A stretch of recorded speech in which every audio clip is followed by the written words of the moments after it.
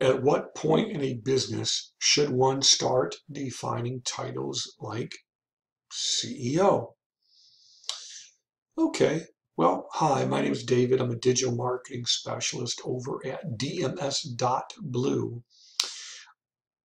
I've been advising and consulting with businesses of almost every kind for like the last 20 years, also working in marketing for quite a number of agencies, either as a full-time employee or freelancer or providing what they call white label uh, outsourcing services. I've worked with almost every type of business there is. I have to tell you, at what point in a business should one start defining titles like CEO? When you start making money, basically.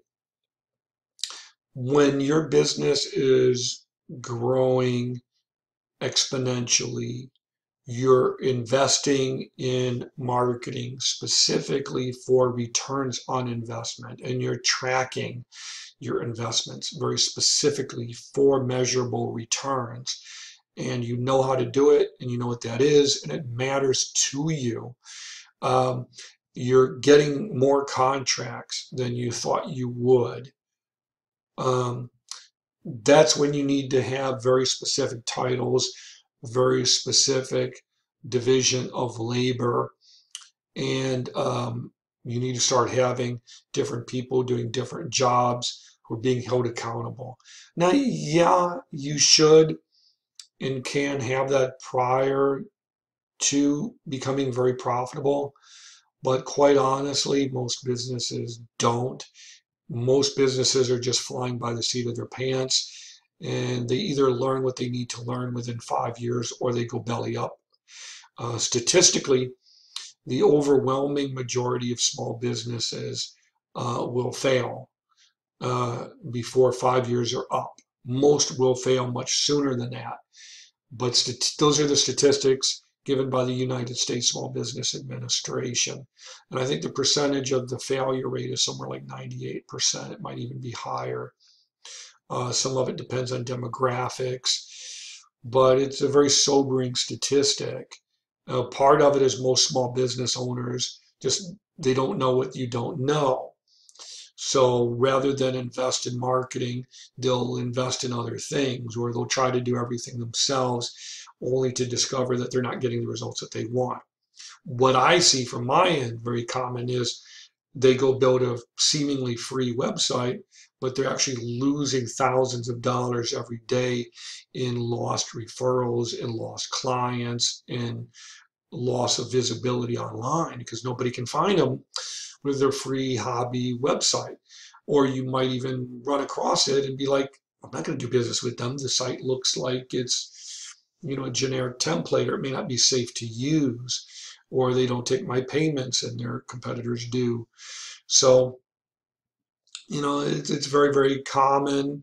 Um, but to stick to your point, you should start defining titles like CEO as early, honestly, as early as you feel like you can start doing it and the people are serious and committed and there's real money on the line.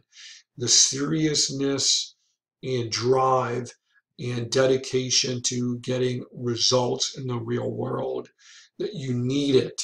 It matters to you this you know what is real, that's when you start running it like a military campaign. Failure is not an option. Uh, losing assets, it's not an option. That's when you start to do it. For most businesses, it's at that five to six year mark where they've already made enough money, they've encountered obstacles, they reached a th certain threshold. Now they're willing to spend 3000 if it means making back 30000 If they have to wait six months um, or a year or two to make back that money, they're willing to invest in order to make more down the road. They're at that point where it's really vital to have a CEO, a CFO, a COO, a team lead, uh, director of marketing, a director of communications. Everybody has their own individual role, and they've got enough work to keep them busy, and they're on this tight uh, track toward fulfilling real projects and really getting real stuff done that's tangible. So I hope that answers the question and gives you a bit more clarity, okay?